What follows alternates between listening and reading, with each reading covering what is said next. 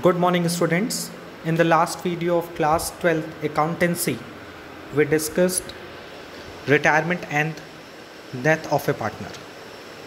Now we will move to the last chapter of unit second of accountancy that is dissolution of partnership firm. You know very well the accounting for partnership firm is classified into five chapters the first one is introduction of partnership firm. Second, change in profit sharing ratio, that is the reconstitution of partnership firm. Third one is admission of new partner. Number four, retirement and death of a partner. And number last, number fifth is dissolution of a partnership firm. Basically, the chapter number one focus on the fundamental information regarding partnership firm. What is partnership? What is a what is the rights of partners what is partnership deed what are the accounts maintained under partnership deed uh, uh, sorry partnership form that is a partners capital account profit and loss appropriation account as well as the various journal entries related to the partnership form. The first chapter also included the various kind of adjustment that is interest on capital, interest on drawing, adjustment in closed account, minimum guarantee. And in the chapter number 2, we discuss the concept of reconstitution of the partnership firm. Reconstitution of the partnership firm is a situation where partnership does not end, where the agreement between the partners is revised the various kind of situation which are connected with the reconstitution of partnership form that is a change in profit sharing ratio which are discussed in chapter number 2 admission of a new partner which are discussed in chapter number 3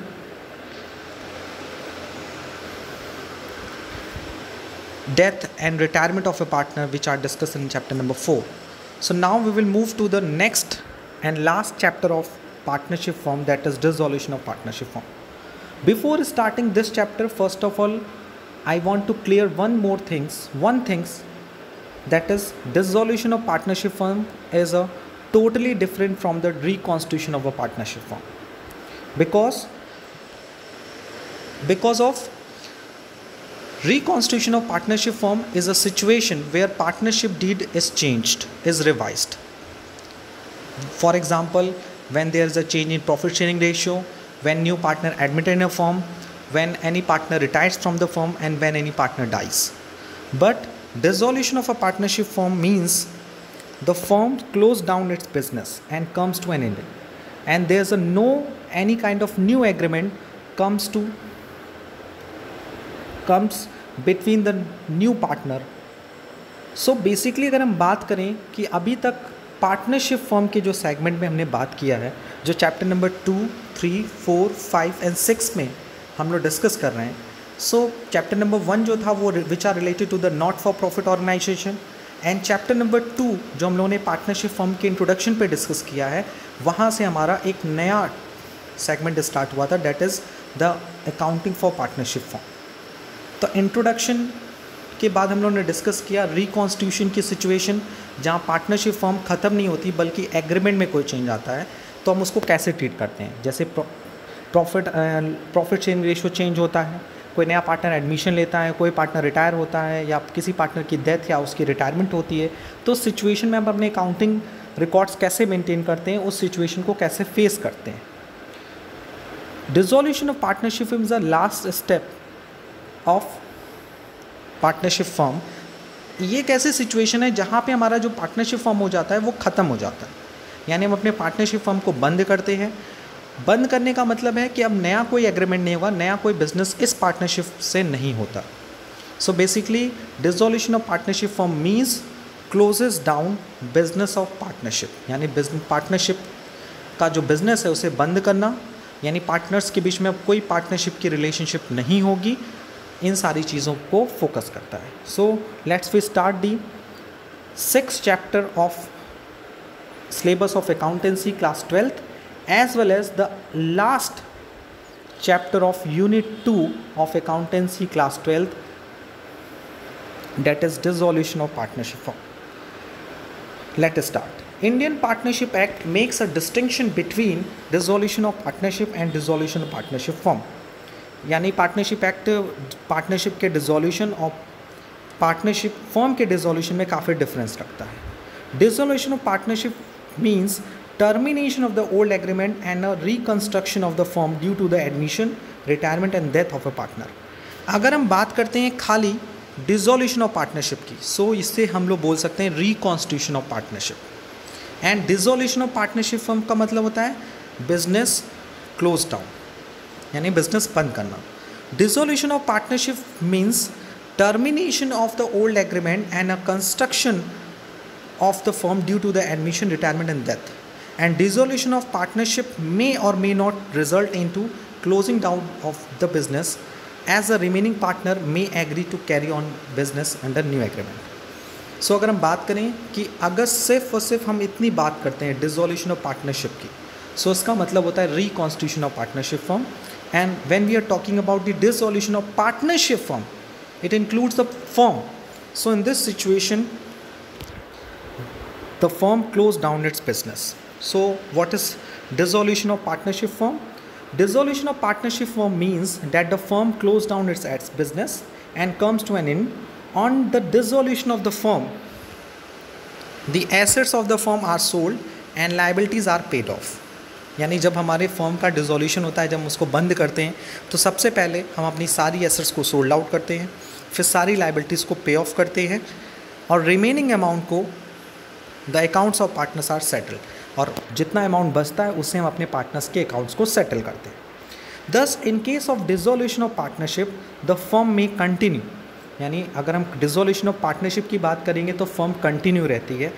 It does not means the dissolution of firm but in case of dissolution of the firm the partnership is automatically dissolve means partnership बंद हो जाती है और कोई business run नहीं करता। है सो आई hope हमने अपने अकाउंटेंसी सिलेबस में चैप्टर नंबर टू वो तो एक अलग ही चैप्टर है, वो इंट्रोडक्शन पार्ट है। Chapter number three four and five जो हम लोग ने डिस्कस किया है, वो रिकॉन्स्टिट्यूशन ऑफ़ पार्टनरशिप फॉर्म का सिचुएशन है and which is also known as the dissolution of partnership जहाँ पार्टनरशिप रिलेशन जो है it is a relation between partnership वो चेंज होता है। डीड में चेंजेस आते हैं। लेकिन डिजोल्यूशन ऑफ़ पार्टनरशिप फर्म का मतलब होता है बिज़नेस को बंद करना एसेट्स को बेचना लाइबिलिटीज़ को पे ऑफ़ करना, और अगर पैसा बचे तो उससे हम अपने पार्टनर्स के अकाउंट को सेटल करते हैं।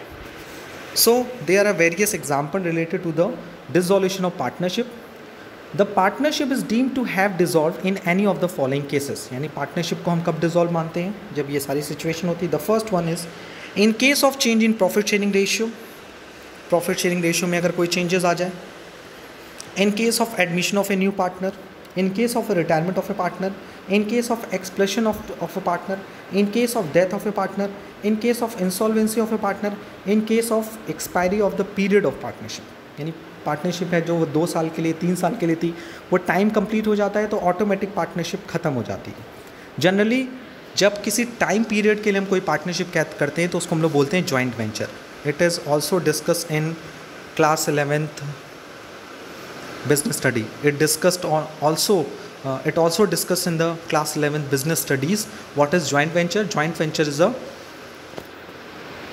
predetermined period of partnership यानी इसमें हम लोग एक पार्टनरशिप एग्रीमेंट ही करते हैं, लेकिन इसमें एक ऑब्जेक्टिव पहले से क्लियर होता है और पार्टनरशिप का डेट डिसाइड होता है कि पार्टनरशिप कब तक रहेगी, यानी हम किस डेट तक के लिए पार्टनरशिप कर रहे हैं, उसे हम लोग ज्वाइंट वेंचर बोलते हैं। So next is dissolution of partnership firm dissolution of partnership firm means business बंद हो रहा है फॉर्म अपनी सारी एसेट्स को बेचेगी लाइबिलिटीज़ को पे ऑफ़ करेगी और अकाउंट्स को सेटल करेगी।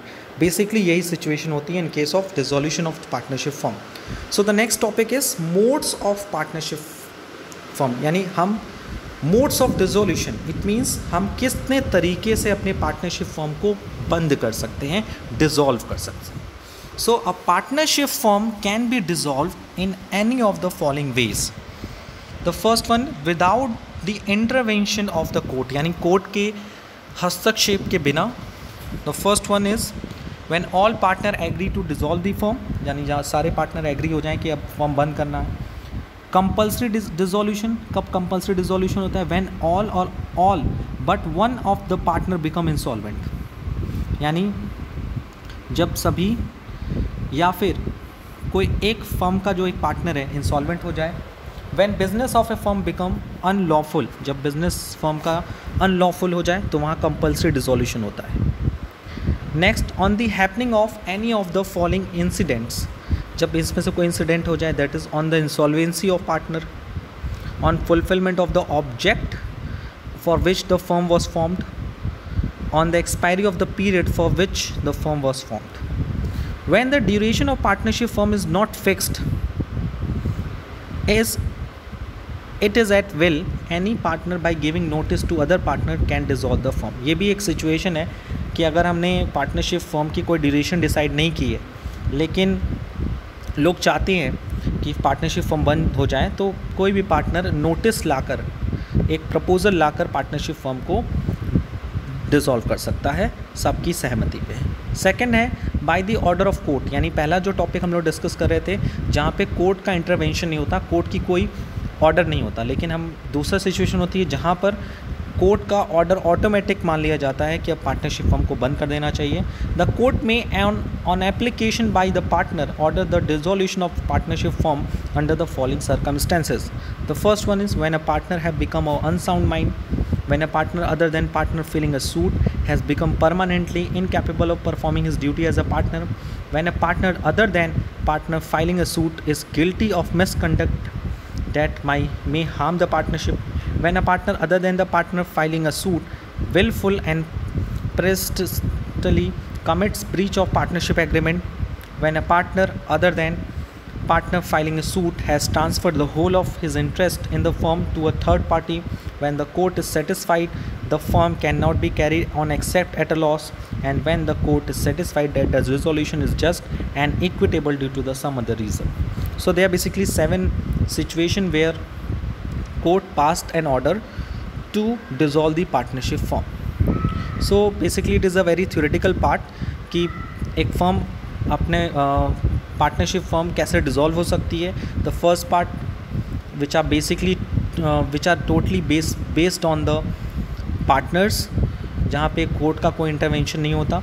But the second part which are related to the court when court pass the order to dissolve the partnership firm so there is a next uh, important theoretical part of this chapter that is difference between dissolution of partnership and dissolution of firm ये difference है जैसे मैंने आपको शुरू में ही बताया कि डिजोल्यूशन ऑफ़ पार्टनरशिप और डिजोल्यूशन ऑफ़ पार्टनरशिप फॉर्म में काफ़ी डिफरेंस होता है so let's we discuss it the first difference on the basis of meaning dissolution of partnership it refers to change in existing agreement between the partner whereas a dissolution of firm? It refers to the dissolution of partnership between all the partners of the firm.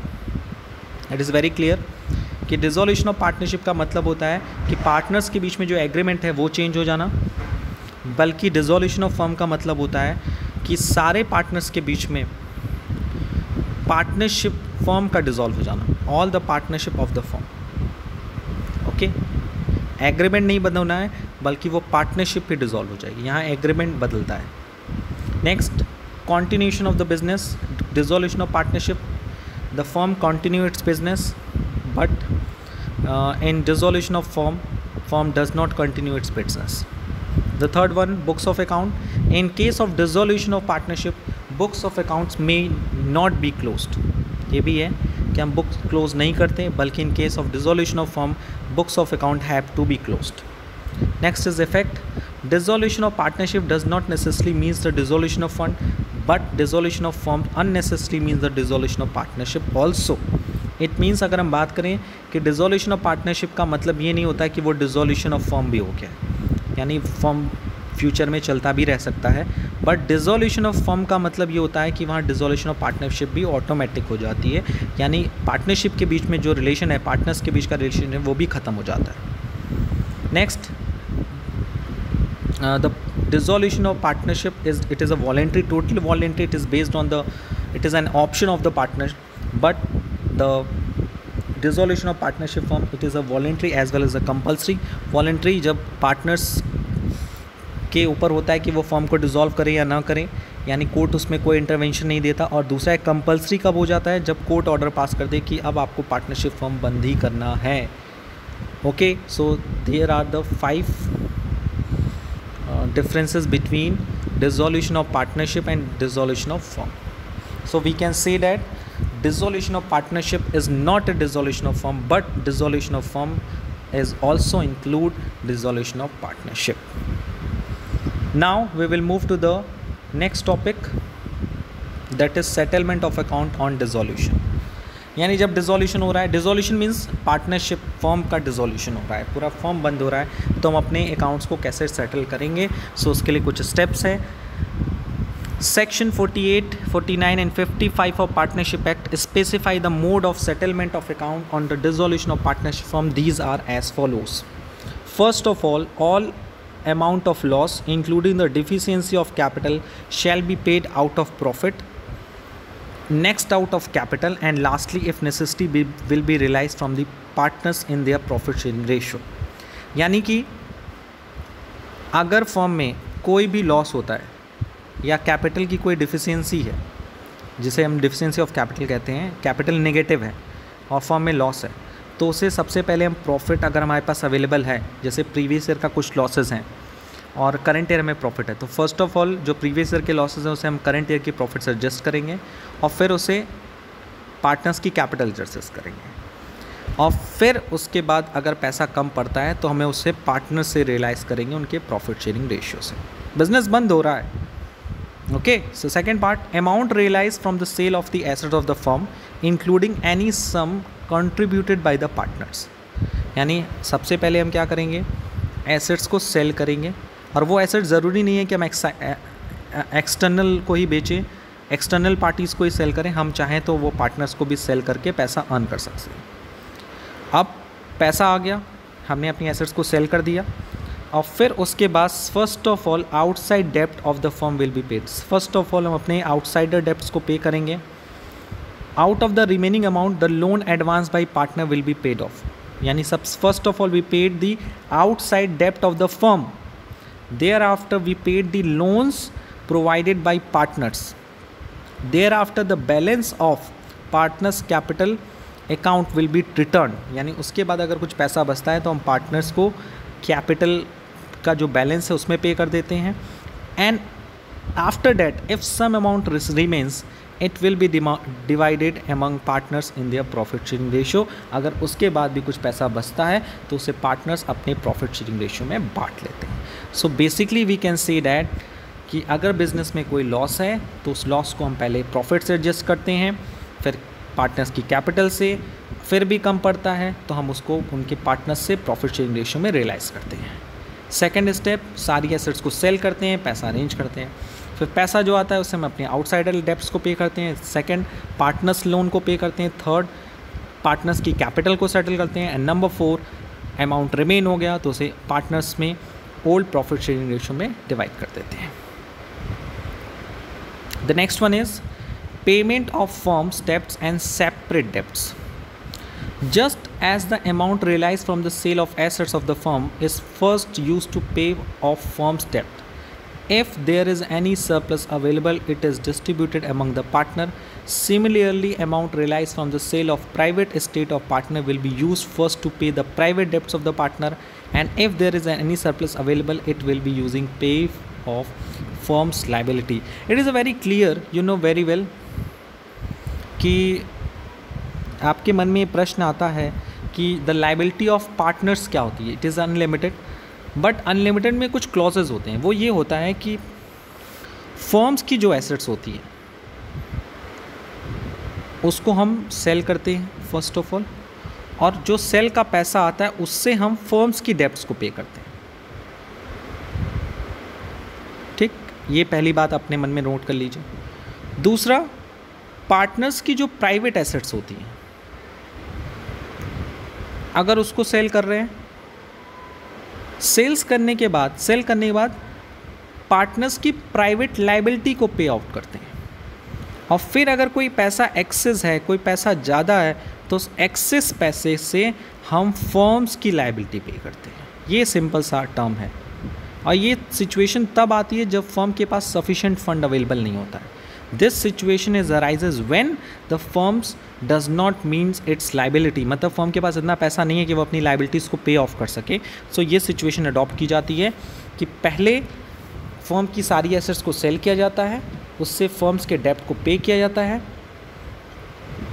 दूसरी बात private state of partner को भी sale किया जाता है उससे जो पैसा आता है उससे पहले पार्टनर्स के डेप्ट को पे किया जाता है और फिर अगर कोई पैसा बचता है तो उसे फर्म्स की लाइबिलिटी के लिए पे ऑफ़ करते हैं।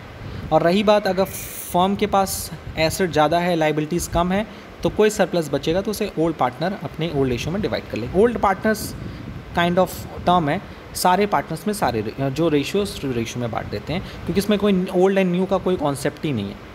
So don't be confuse okay the next part as a accounting procedure on dissolution of form अब आ, आ जाते हैं हम लोग अपने असली काम पे। That is a real work of accountant that is accounting procedure on dissolution form when we are talking about the dissolution of form so first of all आपके माइंड में यही चीज़ आई होगी सर इसमें कैसे न्यूमेरिकल सॉल्व करेंगे? How to solve the numericals and how to follow the accounting procedure on dissolution of fund so in order to close the forms of the form books of the form on dissolution of the following accounts are open in order given below यानी जब भी कोई form dissolve होती है तो सबसे पहले हम इस ऑर्डर में अकाउंट भी ओपन करते हैं। The first account which is known as realisation account admission retirement change in PSR और डेथ के केस में सबसे पहले बनता था रीवैल्यूएशन अब यहाँ क्या बन रहा है? रियलाइजेशन सो so, ये टर्म थोड़ा सा डिफरेंस है। So don't be confuse on the dissolution of firm first of all we prepare the realisation account